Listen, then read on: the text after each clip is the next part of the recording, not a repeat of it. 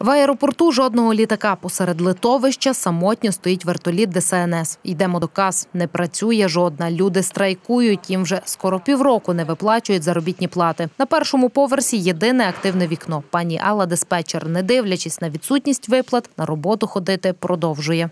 Ще за шостий місяць не отримали заробітну плату. За шостий. А ви За одинадцятий. а чому ходите на роботу? Грошей нема, то Ну нащо? як ходимо? Ну, Чого ходимо? Ну от ходимо. Аеропорт не закритий. От приходимо. Пан Іван рятувальник, чоловік каже, що вже доведений до вічою грошей катастрофічно не вистачає. Зарплати поки немає. І, і зараз трохи я приболів.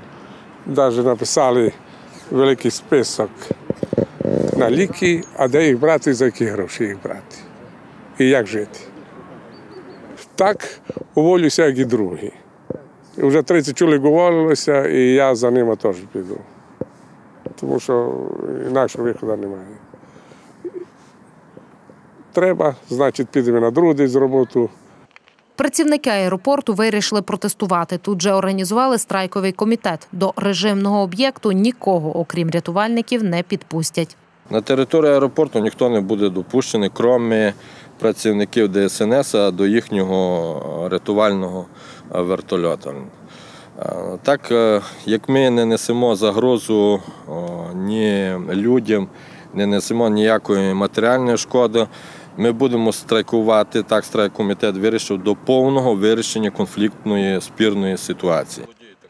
Щодо причин відсутності виплат, тут, як то кажуть, все складно. Працівники аеропорту звернулися до обласної ради. З їхніх слів депутати проголосували за виділення необхідної суми задля погашення боргів. Однак кошти, потрапивши на рахунок, були заблоковані антимонопольним комітетом.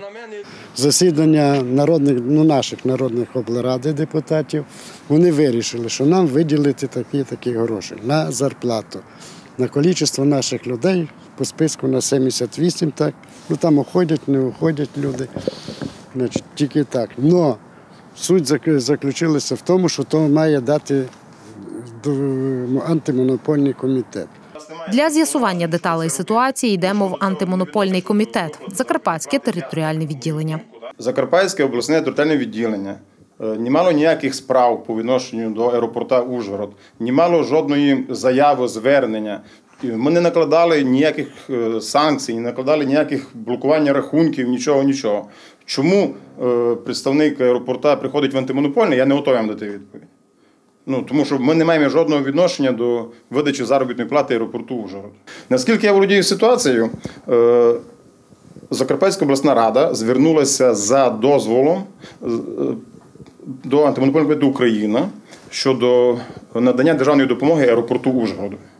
Відповіді, напевно, треба шукати в облраді. Михайло Рівіс каже, що затримка за антимонопольним комітетом, але не за Закарпатським обласним територіальним відділенням, а за центральним в Києві. Все, що треба від антимонопольного комітету, це зібрати комісію, визнати, що е, кошти, які надала обласна рада, це не є порушення антимонопольного законодавства і е, не буде сприяти нечесній конкуренції в, е, авіапольотах на території України і дозволити виплатити людям заробітну плату. Кошти є на рахунках Ужгородського аеропорту. А чому це так робиться через? Ну вибачте, я не знаю, чому Це це, так- так. Так, так законодавство прописано. Зі слів Михайла Рівіса, керівник антимонопольного комітету України Юрій Терентєв про ситуацію знає. І невдовзі її мають владнати. Я говорив із е, керівником антимонопольного комітету України. Вони пообіцяли найближчим часом це розрулити. Варто сподіватися, що ситуацію вдасться вирішити ще цього року.